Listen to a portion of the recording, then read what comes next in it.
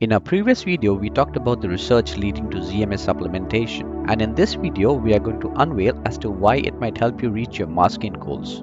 ZMA is useful on account of three critical micronutrients that your body needs, zinc, magnesium and vitamin B6. If you are deficient in zinc, you would experience a decrease in serum testosterone levels.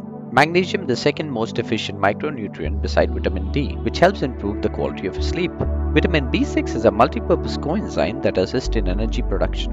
ZMA supplementation consumption is made ineffective if you are taking three cardinal micronutrients in sufficient quantities.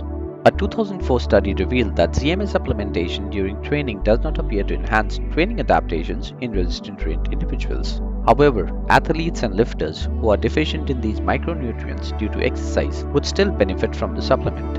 Having said, there are still many food sources that can replenish the three micronutrients in our body. To name a few, oysters, fish, sunflower seeds, bananas, spinach, nuts, chicken, brown rice, avocados, and turkey.